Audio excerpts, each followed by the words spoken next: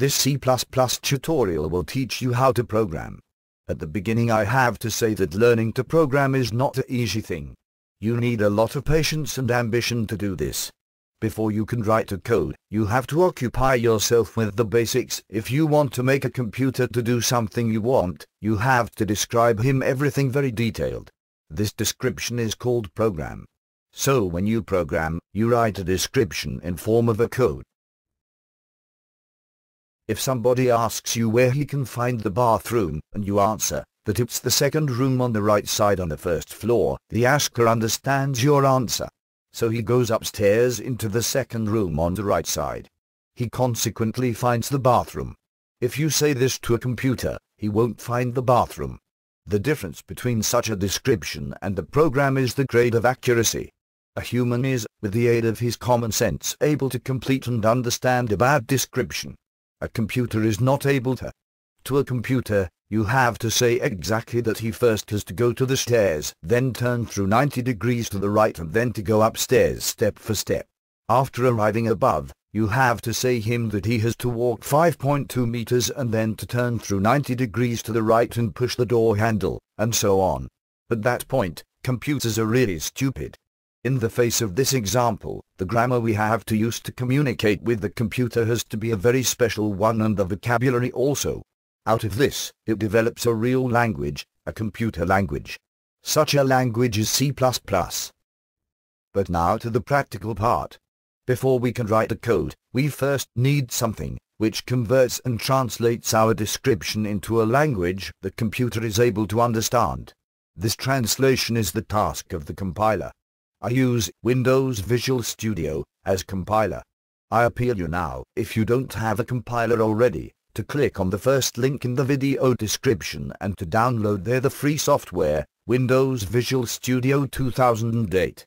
While you download and install the software, you can pause the video. Now after downloading and installing the compiler software, I will introduce you how to work with it. First you open the compiler with a double click on the desktop icon. After that, you will see this starts it. All this stuff is not interesting until now, we want to write a code. We have to create a new project. Therefore you click at the field, New Project, on the left side.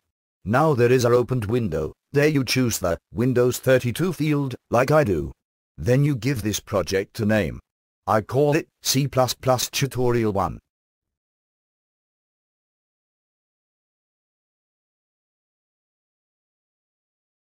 After that, you click on the OK button. In the next window you click on the same field like me on the left side. There you put a hook at the same empty field like I do. Finally you click on the complete button, and your first project was created.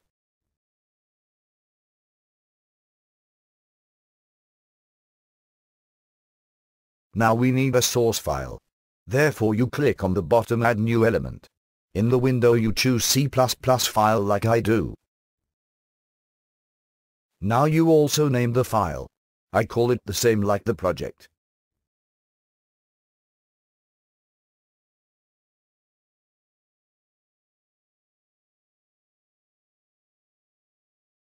After that, you simply click on the Add button on the right side and we are ready to write a code. Every program begins with the initialization of the command library. This is a note for the computer, where he can take the commands of the program. At the beginning following library is enough. It's called std underscore lib underscore facilities.h.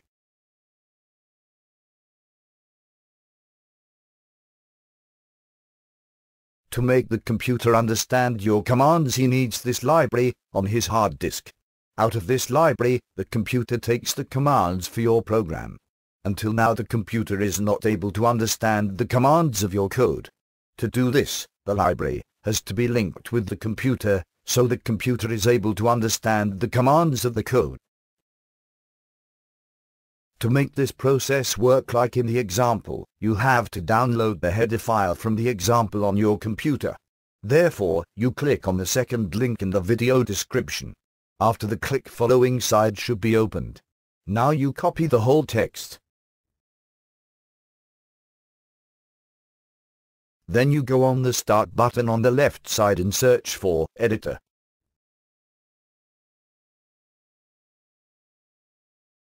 The first search result is the editor. You open it with a click. Now there is an empty text window. There you paste in the text you just copied.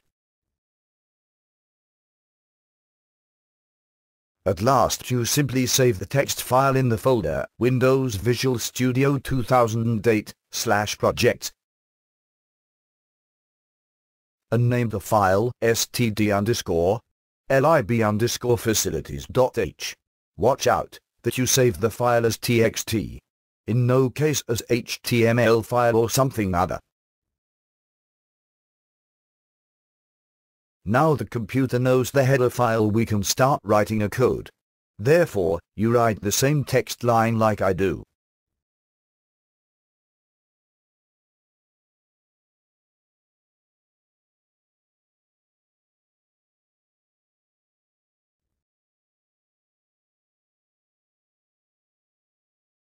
After a few seconds you will see that there get some files included below. That shows us that the initialization was successful. Next, we go two lines down. There we enter the function, int, main.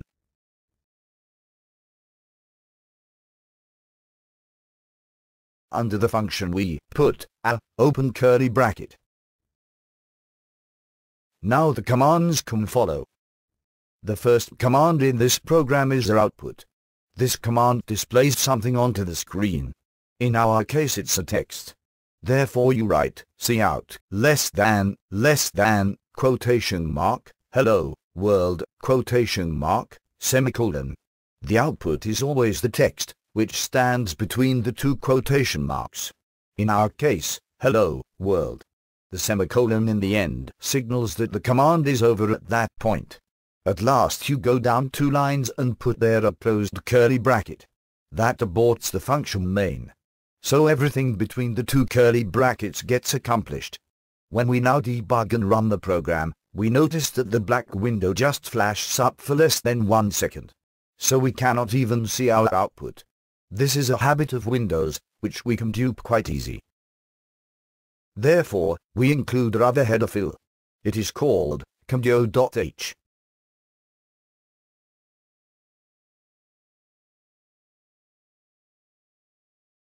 Next we just write the command getch in the last line of the program, but still inside the two curly brackets. This command averts that the window where our program gets accomplished gets directly closed after running the program. This command waits until a key gets pressed. Now it should work. I prefer to make a code analysis before debugging the program. Therefore you click on the field, Analysis above, and then on the field, Code Analysis, for, in my case, C++ Tutorial 1. Now the analysis is started, you can watch the process below in the white field. When there is the same output, I am just marking, the analysis was successful. Now we can debug the program. Therefore we click on the green debug arrow above. Now we can see our opened black window with the output. Hello, world. Congratulations, you have just written your first own program.